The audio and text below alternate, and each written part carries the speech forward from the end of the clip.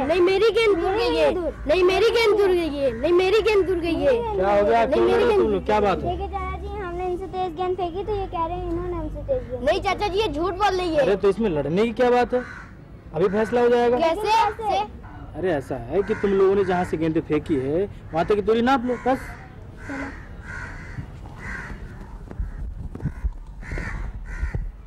एक दो तीन चार पाँच छः सात आठ नौ दस।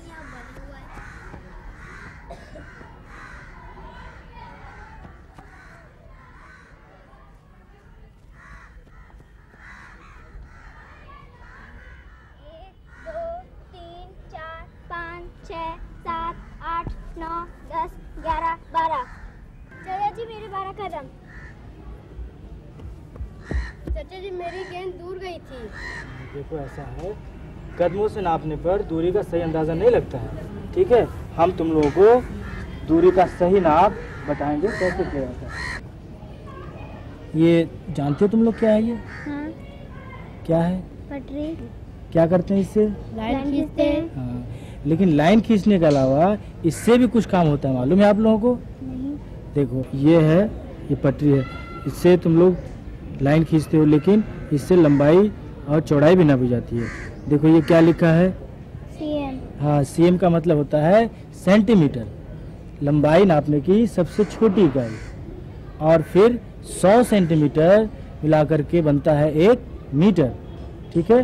और उससे भी बड़ा होता है किलोमीटर। किलोमीटर बनता है एक हज़ार मीटर से। इस पे नम, लिखे हुए हैं नंबर और ये सब सेंटीमीटर है। इससे हम लोग लंबाई चौड़ाई नाप सकते हैं ठीक है? अब हम तुम्हें बताएँगे कि किस तरीके से किसी चीज़ की लंबाई चौड़ाई नापी जाती है। सबसे पहले तुमको हम बताते हैं कि लंबाई चौड़ाई क्या होती है। देखो, ये दूरी है, लंबी वाली दूरी, इसको बोलते हैं लंबाई। ये लंबाई हुई और ये जो कम वाली दूरी है, ये चौड़ाई हो गई। अब हम चलो इसकी लंबाई और चौड़ाई नापते हैं, ठीक है? ये इसको यहाँ रखा, ये देखो कितना आया ये? ये आ गया सत्ताईस। सत्ताईस सेंटीमीटर, ठीक है? अब इसकी चौड़ाई नापेंगे। है? अब इसको हमने यहाँ रखा और ये देखो क्या, कितना आया? ये आ गया अठारह। इसकी चौड़ाई जो है, वो कितनी हुई? अठारह सेंटीमीटर। अब तुम भी जरा दूसरे कागज़ की लंबाई चौड़ाई नाप के दिखाओ। चलो इसकी लंबाई और चौड़ाई तुम नाप के दिखाओ।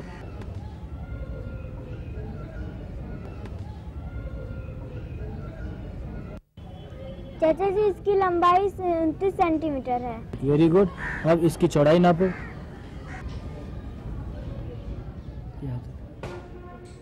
चाचा इसकी चौड़ाई बाईस सेंटीमीटर है। अब तुम्हें पता चल गया कि सेंटीमीटर मीटर किलोमीटर क्या होता है। अच्छा पूनम ये बताओ तुम्हारे यहाँ कितना दूध आता है?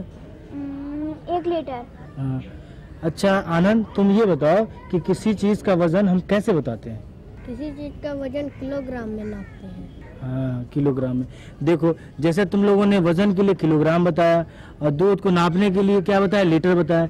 वैसे ही किसी चीज़ की लंबाई चौड़ाई जब हम बताते हैं तो उसको मीटर में बताते हैं। छोटी जो इकाई होती है दूरी नापने की, वो होती है सेंटीमीटर।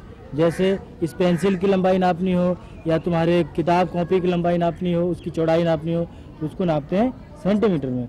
अच्छा उससे जो बड़ी चीज़ें होती हैं, जैसे कि तुम्हारा मेज हुआ उसकी लंबाई चौड़ाई हुई या ये खेल का मैदान हुआ हम्म इसकी जो लंबाई चौड़ाई नापेंगे तो उसको नापते हैं मीटर में। लेकिन जब दूरी बहुत ज़्यादा हो, जैसे तुम्हारे घर से स्कूल की दूरी या एक शहर से दूसरे शहर की दूरी तो ये दूरी हम किलोमीटर में नापते हैं। और ये किलोमीटर जैसे मैंने अपने आपको बताया था अभी, एक हज़ार मीटर जब मिलते हैं, तब जाकर के एक किलोमीटर बनता है। तुमने देखा होगा, सड़क किनारे वो पत्थर लगे रहते दूर दूर पे। वो इसीलिए लगे रहते हैं कि हम पता कर सकें कि एक जगह से दूसरी जगह की दूरी कितनी है। ठीक है? अब समझ में आ गया तुम लोगों को? अब चलो, हम आपको दिखाते हैं, देखते हैं वहाँ कि तुम लोगों ने गेंद जो फेंकी थी, किसकी गेंद ज़्यादा दूर गई थी। आओ चलो, चले। अब तुम लोग, देखो ये, अब निशान तुम्हारा, ये ये निशान बन रहा है, ठीक है? अब यहाँ से तुम लोग फेंको बॉल, है ना? फिर नापते हैं मीटर से किसका दूर जाएगा, है? चलो, देखो। पुनः वहाँ तक निशान लगा के आओ, जाओ। निशान लगा के बॉल उठाओ।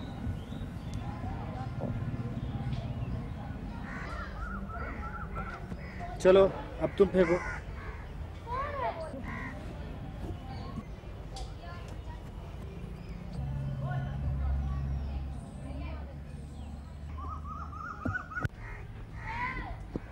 अब देखो।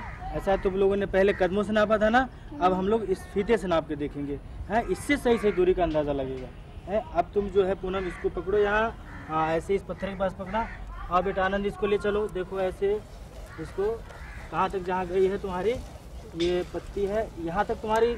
ये ये देखो देखो।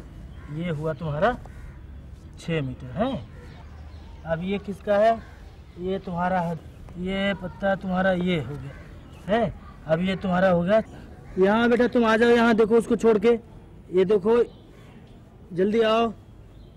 ये देखो, ये ये देखो, ये तुम्हारा छः मीटर तक आया और इनका देखो ये तीस पर, यानी छः मीटर से ये आगे आ गया तीस सेंटीमीटर, यानी छः मीटर तीस सेंटीमीटर। अब तुम लोगों को समझ में आ गया किस तरीके से लंबाई चौड़ाई नापी जाती है और दूरी क्या होती है, मीटर, सेंटीमीटर, किलोमीटर, ये सब क्या होता है। ठीक है आ गया समझ में? अब तुम लोग जाओ खेलो और जल्दी आ जाओ।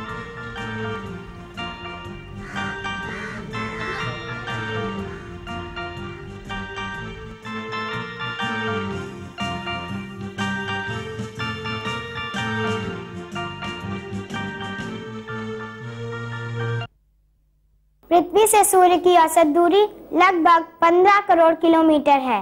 यही वजह है कि हमारी पृथ्वी पर सभी तरह की ऋतुएँ पाई जाती हैं।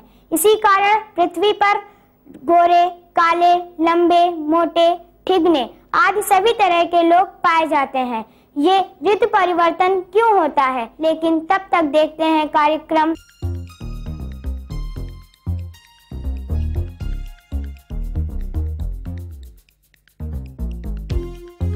अच्छा पहले आप लोग ये बताइए कि ये हमारे हाथ में क्या है? कलम। कलम। और ये कौन है? लड़की। लड़की।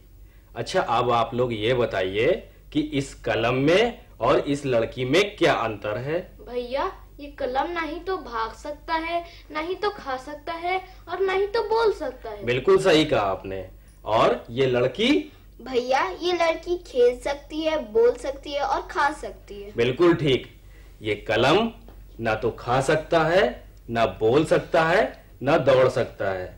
तो ऐसे निर्जीव कहलाते हैं और ये लड़की सजीव कहलाती है। भैया ये सजीव क्या होते हैं?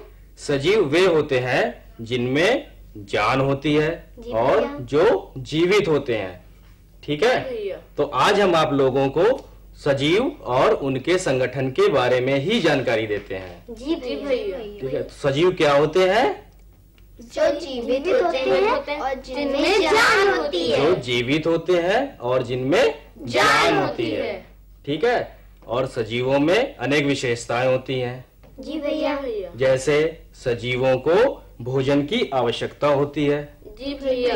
क्या होती है? भोजन की आवश्यकता। भाई जैसे आप लोगों को भोजन की आवश्यकता होती है ना? जी भैया। ऐसे ही सभी सजीवों को भोजन की आवश्यकता होती है। जी भैया। और श्वसन क्रिया के फलस्वरूप ऊर्जा मुक्त होती है। क्या होता है? ऊर्जा मुक्त होती है। ऊर्जा मुक्त होती है। भैया सजीव में और क्या खास बात होती है? सजीवों में खास बात अभी आपको बताया ना भोजन की आवश्यकता होती है। श्वसन क्रिया के फलस्वरूप ऊर्जा मुक्त होती है। सज- सभी सजीव वृद्धि करते हैं और संतान उत्पन्न करते हैं। जी भैया। ठीक है? अच्छा आप लोगों को अब और जानकारी देते हैं। जैसे कुछ जीव बहुत छोटे होते हैं जिन्हें हम अपनी आँखों से आसानी से नहीं देख सकते हैं। उन्हें देखने के लिए सूक्ष्मदर्शी की आवश्यकता होती है। ठीक है? जिसे अंग्रेज़ी में माइक्रोस्कोप कहते हैं। जी भैया। क्या होता है? सूक्ष्मदर्शी की आवश्यकता होती है। ऐसे जीवों को क्या कहते हैं? ऐसे जीव एक कोशिकीय जीव कहलाते हैं। जैसे हमारे पास ये कुछ चित्र हैं। ये क्या है? जीवाणु कोशिका। जी भैया। ये अमीबा। जी भैया। जी भैया। और ये पैरामीशियम। जी भैया। और ये यूग्लिना। जी भैया। ये सभी क्या है? एक कोशिकी जीव। जी भैया। क्योंकि इनका जीवन एक ही कोशिका में पूरा हो जाता है। जी भैया। ठीक है? और भैया कुछ जीव इतने बड़े होते हैं जिन्हें हम अपनी आँखों से आसानी से देख सकते हैं। बिल्कुल ठीक का बहुत सारे जीव बहुत बड़े होते हैं जिन्हें हम अपनी आँखों से आसानी से देख सकते हैं। जी भैया। जैसे आप लोग हैं पेड़ पौधे होते हैं हाथी है और भी तमाम जान, जानवर होते हैं जिन्हें हम अपनी आँखों से आसानी से देख सकते हैं। ऐसे जीव बहुकोशिकीय जीव कहलाते हैं। जी भैया। क्योंकि इनका जीवन अनेक कोशिकाओं से मिलकर बना होता है। भैया ये कोशिकाएँ क्या होती हैं?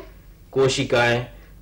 अच्छा पहले आप लोग ये बताइए कि आपने अपने पास पड़ोस में किसी बनते हुए मकान को देखा है? जी भैया मेरे तरफ़ एक मकान बन रहा है। उसमें क्या देखा है आपने?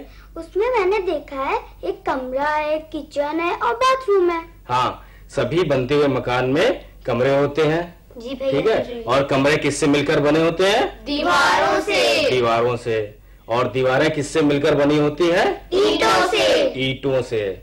मतलब क्या हुआ? ईटों से मिलकर ही पूरा मकान बनाया जाता है। जी भैया। ठीक है? तो ईटे क्या हुई? उस मकान की इकाई। जैसे ये देख रहे हैं ना आप ये ईटे मिलकर ही पूरी दीवार बनाते हैं। जी भैया। तो मकान की इकाई ईंटें हुई। इसी प्रकार प्रत्येक जीव का शरीर अंग तंत्र से बना होता है। और अंग तंत्र अंगों से मिलकर बने होते हैं। जी भैया। और अंग ऊतकों से मिलकर बने होते हैं। भैया ये ऊतक क्या होता है? ऊतक। अनेक कोशिकाएँ आपस में मिलकर ऊतक बनाती हैं। जी भैया। तो क्या हुआ? जीवों का शरीर कोशिकाओं से मिलकर बना होता है। ये। कोशिकाएँ शरीर की इकाई कहलाती है। ठीक है? तो कोशिकाएँ किसी भी जीव के शरीर की संरचनात्मक और क्रियात्मक इकाई होती है। क्या होती है? इकाई। इकाई होती है। ठीक है? कोशिकाएँ समझ में आ गया सभी लोगों को? जी भैया। अच्छा हम आप लोगों को अब और जानकारी देते हैं। कुछ जीव जो निम्न श्रेणी के होते हैं जो छोटे जीव होते हैं वे अपनी सारी क्रियाएँ कोशिकाओं के द्वारा ही पूरी करते हैं। अच्छा भैया। और जो बड़े जीव होते हैं जैसे आप लोग हैं पेड़ पौधे हैं ठीक है ये सारी क्रियाएँ अंगों के द्वारा करते हैं। जी भैया। जैसे आप लोग हाथ से क्या करते हैं? उठाते हैं। उठाते हैं। आँखों से देखते हैं। और कानों से सुनते हैं। सुनते हैं। और पैरों से चलते हैं। चलते हैं। तो सभी अंगों का कार्य अलग अलग है ना? जी भैया। ये कार्य का बंटवारा श्रम विभाजन कहलाता है। भैया ये श्रम विभाजन क्या होते हैं? श्रम विभाजन जैसे अभी आप लोगों ने बताया कि आप हाथ से पकड़ते हैं आँखों से देखते हैं कानों से सुनते हैं और पैरों से दौड़ते हैं। तो सभी अंग अलग अलग कार्य कर रहे हैं? जी भैया। तो ये जो अलग अलग कार्य कर रहे हैं कार्य का बंटवारा ही श्रम विभाजन कहलाता है। जी भैया। ठीक है? अच्छा आप आप लोगों को और जानकारी देते हैं। ये शरीर के अंग कार्य कैसे करते हैं?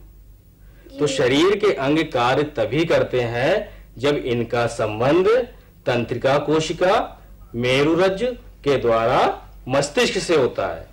जी भैया। ठीक है? तो मस्तिष्क से संबंध होगा तभी ये सारे अंग कार्य करते हैं। जी भैया। ठीक है?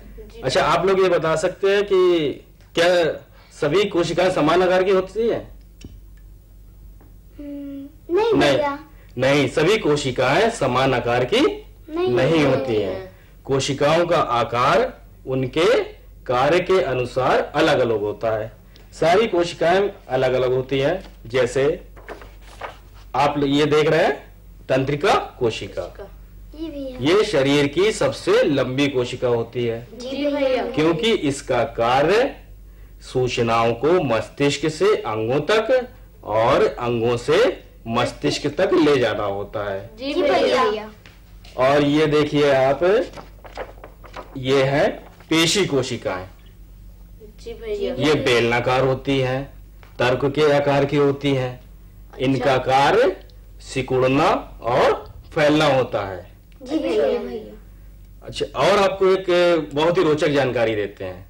सभी लोगों ने पक्षियों के अंडे देखे हैं? जी भैया। तो पक्षियों का अंडा भी एक कोशिका होती है और प्रकृति में पाई जाने वाली सबसे बड़ी कोशिका शुतुरमुर्ग का अंडा कहलाती है। जी भैया। क्या होती है सबसे बड़ी कोशिका? शुतुरमुर्ग का अंडा। शुतुरमुर्ग का अंडा। अंडा। और शरीर की सबसे छोटी कोशिका लाल रुधिर कोशिकाएँ होती हैं। जो हम सभी के खून में पाई जाती हैं। तो सबसे छोटी कोशिकाएँ कौन सी होती है? लाल रुधिर कोशिका। लाल रुधिर कोशिकाएँ। भैया आज आपने सजीवों के संगठन के बारे में हमें बहुत अच्छी जानकारियाँ दी। भाई आप लोगों को जानकारी मिली? जी भैया आपने हम लोग को इतनी अच्छी जानकारी दी हम लोग को सब समझ में आ गया। सभी को सब समझ में आ गया। जी भैया। अच्छा हम आपसे अब प्रश्न पूछते हैं। पूछिए भैया। आप बताइए शरीर की इकाई क्या होती है? कोशिका। कोशिका। और आप बताइए कि सजीव किसे कहते हैं? जो जीवित होते हैं। जो जीवित जीवित होते हैं। और जिनमें जान होती है। जान होती है। और जो जीव बहुत छोटे होते हैं दिखाई नहीं देते उन्हें क्या कहते हैं? एक कोशिकीय जीव। उन्हें एक कोशिकीय जीव जीव। कहते हैं। आज हमने आपको सजीवों और उनके संगठन के बारे में जानकारी दी। अगली बार आपको विज्ञान विषय की और जानकारी दी जाए